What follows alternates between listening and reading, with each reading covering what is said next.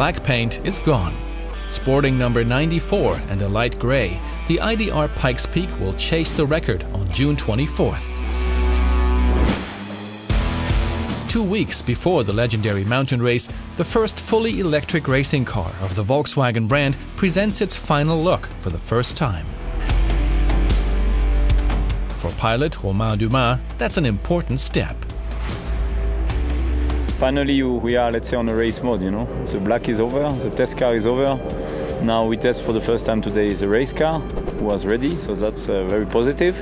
And the new livery, yeah, I like it, you know. But at the end of the day, what I like the most is to win the race, so... The grey livery is the same one Volkswagen uses for its ID family. After all, the racing car is spearheading the future family of electric production cars. The number 94 stands for ID, the ninth and fourth letter of the alphabet. Testing the IDR Pikes Peak on the 20 kilometer track to the summit fuses the car and its driver into a single unit. I'm getting more used to the visibility, you know, the speed. You have to readapt your style, you have no gear, you have no noise. The only kind of feeling you have is the speed, you know, and uh, that's it with your view. And you have to get used to with all these trees, the rocks, and so on. You have to find new, new mark, new bumps on the road to see where you will brake, where you will turn. But at the end of the day, it's getting more and more now. Let's say we cannot say easy, but familiar. The IDR Pikes Peak really is an unusual racer. There's only one way in or out, a hatch in the roof. Volkswagen built the first fully electric racing car with one purpose in mind. Breaking the record for fully electric cars in the Pikes Peak race. Just under two weeks is all the time engineers have left to work out the details and improve the car for the race in the Rocky Mountains. Then it's time for the sprinter of the ID family to show what it's made of. I mean, Volkswagen Group is entering the electric world, so the idea is to show the, our capability in, uh, in, doing electric cars, and, uh, and especially for, for racing. I mean, it, it's a racing car, so uh, it has to be uh, as fast as possible. So technically, it has to be light and uh, and uh, drivable, and you know, say fast. Well, the idea of the idea of the IDR was to to have two motor, one motor front, one motor rear. I think it's a, it's a solution chosen for the MEB cars that will be produced uh, in the future from Volkswagen. So uh, yeah, they are we are going the same way. I mean, for our team, it was a I mean a great challenge. We start, as you say, from a way originally we were supposed to uh, modify or electrify Romain's car. That was our original idea because of the tight schedule. But you know, engineers are a bit crazy, and, uh, and we decided to do a complete new car in less than eight months, and uh, with very open rules, which means that uh, the only limit was the time and the, and the budget. So that's uh, it does not happen so often in motorsport. we have all been in in series where like WRC. Le Mans, Formula One, you have very strict rules. Here, the only rule is four wheels and be the fastest between the start to the end. That's it.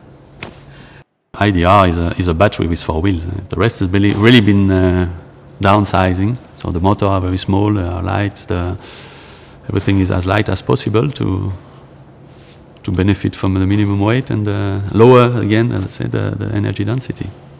We were used to do a rally of 300 kilometers over three days. Now we have to be ready to do uh, 20 kilometers in, uh, in less than nine minutes. 850 will be a, a great achievement. This is our target, 850.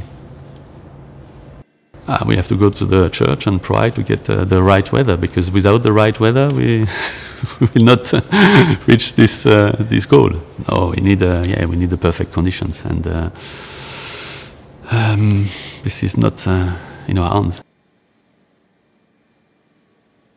Our brand is full into the e-mobility and for us it was a good idea to bring that to life uh, for the first time uh, in uh, a, a, motorsports car. And why not go back to Pikes Peak? We have a uh, we have a, a, history with Pikes Peak that is, a, let's say, a black point in our history that we wanted to take away, and then to do it straight away with an electric car was a fantastic idea. Well, I mean, we were there uh, 31 years ago, and we didn't succeed to go to the top. So yes, for Volkswagen Motorsport, uh, it's a it's a real challenge to also bring it to the top, and then straight away to bring the E record to Volkswagen would be, of course, a fantastic achievement. Well, I would say any time under 857 we will be very happy with, but of course, uh, if we can if we can bring it down uh, a lot, would be of course a, a, real achievement. But the target is to do 856 uh, because that would bring the record to Volkswagen. Well, we had the, the last, let's say, uh, official free tests uh, last weekend, and they were really good. I mean, the car is functioning really well. Um, we had some really minor problems, but that not did uh, the car stop to drive. And uh, well, the, the, car, the team is very motivated after these tests. Uh, as we say, the car has a has a huge potential. Um, now we just have to bring uh, the car up to race car uh, level. We have to prepare everything uh, really well in the week the week to come, and then to be ready first of all on Wednesday for the qualifying, uh, and have a good starting position there. Well, first of all, the car is an ambassador, I say, for the, the new ID, ID, family that will come from Volkswagen. There are a lot of elements that we have seen in the show cars that we have seen today that you find back in the ID Pikes Peak. And first of all, it's also one of the first prototype cars that we have built. And uh, so for us, it's, uh, it's a it's a car that is a real new thing for, for Volkswagen and for Volkswagen Motorsport. And so we're very proud on, on this project. Most of the technique inside is, uh, is own design. We have done a lot ourselves with some suppliers. We had some help for the battery from Braunschweig, uh, from the battery uh, department, and also Porsche Motorsport helped us a little bit in aero areas. Um, but yeah, it has uh, it has uh, two electric motors, one front, one rear, and um, has a battery that uh, is our design together with suppliers built then. Well, the beginning of the story was uh, was actually in a in a meeting where we were talking uh, about the e-motorsports and what could be done. And then somebody said, "Well, there is Pikes Peak, you know, the hill climb. They have already an e-record."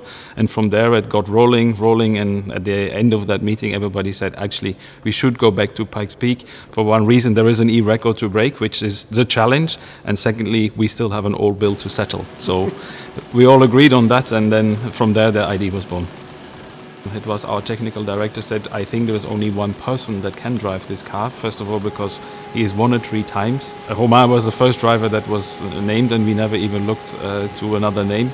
Uh, because he fits this project really well. Romain likes the challenge to have only nine months to bring a car up to speed to, to, to try to break a record. And he is, in one way, a little bit Mr. Pikes Peak also because he was there the last four years and he won it three times it's one of the most important factors. I mean, the driver uh, needs to know these uh, 22 kilometers by heart. For him, it needs to be actually the road from home to the bakery in one way, and he just needs to drive that without thinking. And I think with Romain, we have found this. We've also seen it when we build up the simulator that actually it is nearly like driving to his home. Or in one way, he just describes that road so good, actually better than the first simulator program we had. So that's why Romain is the only person we could bring into this car.